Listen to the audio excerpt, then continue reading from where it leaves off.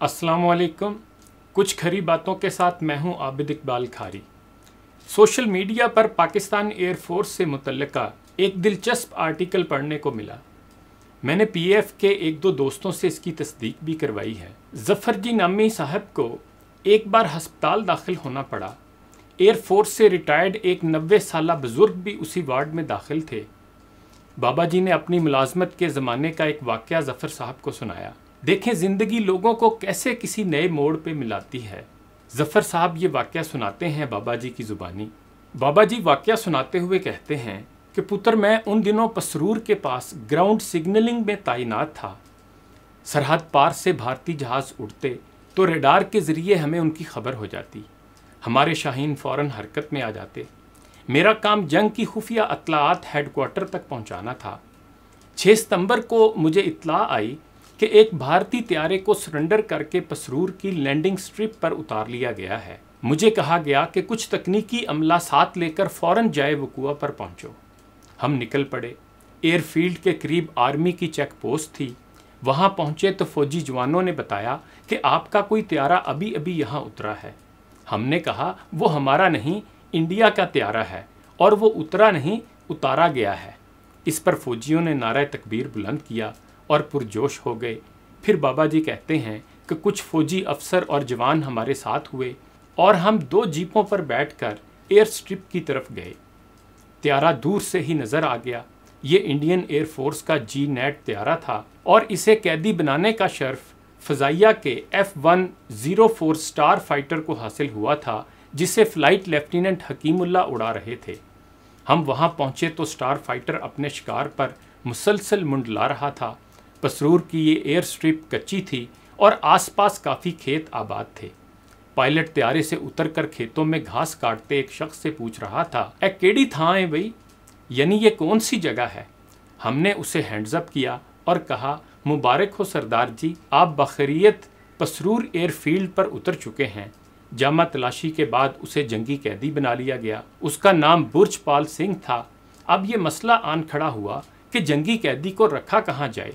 क्योंकि शाम हो चली थी, तजवीज़ हुआ कि यहाँ से कुछ मील दूर ब्रिगेडियर साहब का बंगला है। फ़िलहाल मेहमान को वहीं ले चलते हैं। मोबाइल फ़ोन का दौर तो था नहीं कि बड़े साहब को इतला करते, गाड़ियाँ भगाते वहाँ पहुँचे। दरवाज़ा खटखटाया तो ब्रिगेडियर साहब बाहर निकले। पहले हैरत से हमें देखा, फिर जंगी कैदी को हैरत से देखते हुए बोले, बुर्जपाल, तू? तू इथे की कर रहे हैं? यानी बुरजपाल, तुम तुम यहाँ क्या कर रहे हो? दरअसल दोनों एफसी कॉलेज लाहौर में इकट्ठे पढ़ चुके थे। बुर्जपाल ने शर्मिंदगी से सर झुकाकर कहा, बस जी, दाने पानी दी गाले यानी दाने पानी की बात है। फिर बाबा जी कहते हैं कि कैदी को ठिकाने लगाने के बाद हमें मकबूजा त्यारे की फ़िक्र लाक हुई। खदशा था कि रात कहीं भारतीय फ़जाइया हमला करके इसे तबाह ही ना कर दे। करीब ही कमाद का खेत था। जवानों ने धक्का लगाया और यूँ हम नेट त्यारे को खेत के अंदर छुपाने में कामयाब हो गए।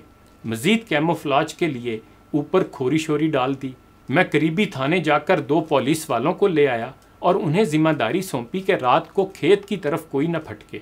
अगले रोज़ कराची से सी वन थर्टी कुछ सहाफ़ियों को लेकर आया, जिन्होंने जहाज़ की तस्वीर वगैरह उतारी। ये तस्वीर अगले रोज़ अखबार में छपी तो कौम का जज्बा बुलंद हो गया। उधर भारत सिरे से मुकर गया कि उसका कोई त्यारा सरेंडर हुआ है। उसी रोज़ शाम को सरगोदा एयरबेस से फ़्लाइट लेफ्टिनेंट साद हातमी तशरीफ़ लाए।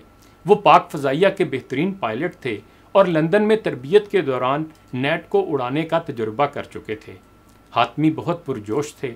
उन्होंने बमुश्किल रात काटी। सुबह होते ही बोले, जहाज़ को खेत से बाहर निकालो, मैं अभी उड़ाना चाहता हूँ। मैंने कहा, एक बार मुआयना तो कर लीजिए। बहरहाल मुआयना करने के बाद वो कदरे परेशान हुए। और कहा, इसे उड़ाने के लिए तो स्पेशल बैटरी ट्रॉली दरकार होगी और वो हमारे पास नहीं है। करीब तीन टेलीफोन दस किलोमीटर दूर था। गुजरावाला इंजीनियरिंग कम्प्लेक्स रबता हुआ। वहाँ से एक टीम त्यारे का मुआयना करने आई और कुछ ड्राइंग्स वगैरह बनाकर चली गई। अगले 24 घंटे में मेड इन गुजरा वाला ट्राली हम तक पहुँच चुकी थी। हालाँकि ये एक माह की रियाजत का काम था। वाकई जंगें जज्बे से लड़ी जाती हैं।